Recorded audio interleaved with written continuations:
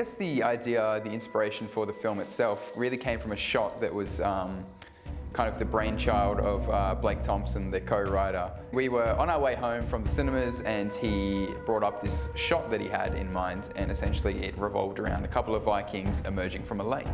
And from there really we kind of brainstormed the idea a little bit further and as it developed we ended up ditching that shot entirely, but this new story emerged. And it was really a fast process of finding the story and finding our characters, and the world just evolved from there. Firstly, the way in which me and Stephen um, wrote The Raven was that it was essentially one giant conversation that like escalates into like a disastrous mess. Our actual script writing process is very unconventional. So what most people would do is they would go away, write their separate sections of the script that they're planning to do, Whereas uh, Stephen and I, we quite literally write word for word, sentence for sentence, like in real time. By the time we finish the first draft, it's essentially the second draft because two eyes have been over it already. It's pretty unconventional, but like it works for, for us. Really, if you're talking about inspirations, we were obviously inspired by the Vikings television show, but it just seemed to be an era that was sort of ambitious and different for things being made in Perth, so it excited us in that way.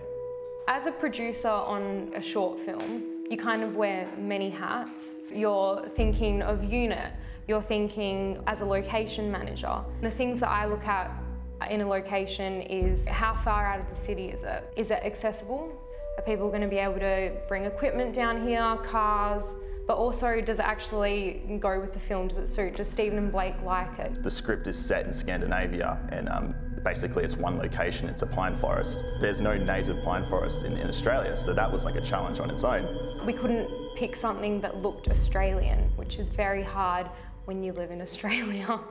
So we firstly had to find a location that, you know, was either man-made pine forest that looked authentic or we simulated it. And we ended up finding a place in Mundaring, which actually had a really nice uh, pine forest and like with trees, but unfortunately it was surrounded by um, Australian bush, which was too hard to hide and masquerade from the camera. So we eventually settled with another place um, in Jarrahdale, which um, had an entire pine, man-made pine forest, um, which was beautiful. These tall pine trees. There was um, these beautiful green clovers on the ground. It looked visually aesthetic, exactly the same look that Steve and I were wanting to get. Unfortunately, there was these uh, big four-wheel drive tracks that went through the entire forest. We were able to, you know, storyboard and shot list around that and use clever angles in order to, to hide the tracks that went through. Building a shrine to hide this wooden stake that wasn't here all the other times we've been here. Or wasn't. And now it's here great stuff. But um, in the end, like we were very, very happy with the location. It was exactly what we were wanting, and um, yeah, couldn't be couldn't be more happy with it. Myself and Blake love to tell stories about the underdog. We saw that Astrid's character was definitely the underdog in this situation. You know, she was the youngest member of the group. She was coming up. She has Arn by her side as her king, but she's yet to prove herself to the rest of the clan. What we wanted to do is kind of have this representation of the kind of elder statesman of the group, reluctant to kind of let her have a shot. And from there, really, the story built and built and built and we felt like we were creating a really compelling character and that the narrative was naturally centered around her.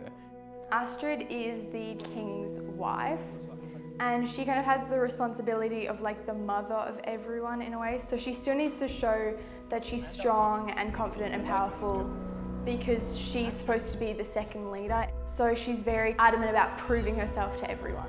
Well, I've always been typecast as the girl next door, so kind of a nervous, shy girl. So when I saw this audition, I was like, I've got to give it a go. This is something completely different, something new. Arn is the king of the Vikings. Um, he's just recently come into the position of power, so he's still new, trying to prove himself in everything that he's doing. A strong man, um, strong in his belief in himself, but still trying to prove that he's the right man for the job. The name Magnus actually means powerhouse in Old Norse. So I think that gives a good indication as to what he stands for. He's very strength oriented and he ultimately believes strength will ensure the clan's survival. I always like imagining the characters I'm playing as uh, an animal because I think it gives a good basis for characteristics of movement. So I always had this sense that Magnus was a caged animal because he felt, felt like he had all this pent up rage. I asked our director Stephen at the beginning of the process what animal he thought Magnus might be and he told me to look at jackals. So I watched a few videos online about how jackals would hunt. Uh, Horgan's role is essentially uh, the king's right hand muscle. He's a, um, a, part of a small Viking group that goes off into um, the New World. Things happen. I don't know if I'm allowed to give away any more than that. I'm feeling hungry. You know, yesterday we let a ball go. Um, Astrid missed the shot. Didn't get to eat ball.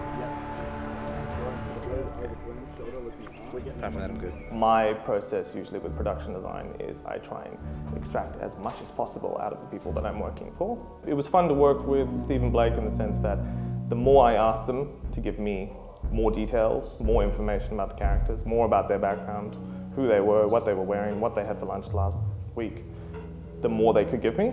They were just very happy to do that. So um, yeah, so we had like big uh, write-outs of all the characters. When you're working on uh, costume dramas or anything like that, it's really complicated. A, a thing that I always try and get across is a, an audience member is not going to remember a lot of big sort of blanks of, of information. They're going to remember like a key detail about someone, whether it's braiding in hair or you know a brooch or something like that. It's always going to be some sort of like key detail, and that's going to be the memory.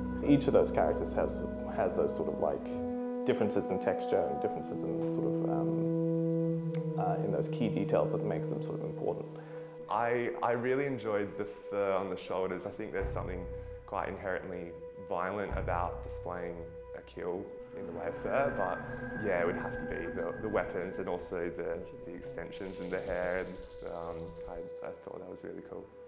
The physical change for the character came about with in, in uh, the script reads and the practices, you know, you're, you're in casual clothes and everything. And although you're starting to get a sense for the character and, and, you're building it in your mind, truly when you get on set and you finally put on that costume and look at yourself through your camera phone, because there's no mirrors on, on set, you really do feel like you're that character. You're wearing the weight of the armour, you're, you're carrying the weapons, you know, you feel that physical transformation. Definitely the hair and makeup, just because it was so like dirty and kind of so different to what I'm like. So it was it was slightly challenging for me to be like, oh, there's dirt on my face, I need to wipe it off. But it was also something really fun because I'd never done that before, so it was a really great change. The axe was amazing, like just holding that thing it made me get into character um, because it was such a it's, a it's such a violent weapon coolest weapon on set, and I'm not biased at all. Holly was great. She was definitely the boss of everyone. You could see that everyone kind of looked up to her in a way because they're like, oh my god, Holly's coming, everyone be nice. It was awesome. I've never actually, I don't think I've ever worked with a child actor before, but she was incredible. She was like this wall of energy and she was just so funny, always cracking jokes and being really adorable and yeah, she was amazing. It was different for me because I'd always been the youngest person on set, so when I saw her I was like, oh, this is new, I'm like the older person now. I've always wanted her to pursue something within the arts. Um, and with, with the theatre, she's been there. She's been in the green room, she's been behind the scenes, she's almost been like a mascot for a lot of productions. She was brought into the Raven because I was in the Raven and we needed a kid that we could manhandle um, comfortably. And you know, being her dad, who better to, to you know uh, to throw a kid around than their own father?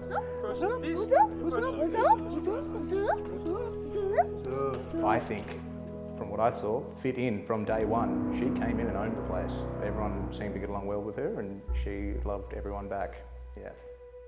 I think it's fantastic that productions like this are being made by forward-thinking and passionate filmmakers, crew and, and cast alike.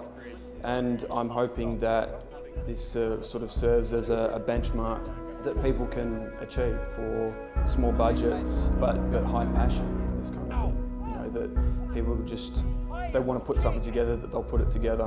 And I think this is an absolute testament as to what.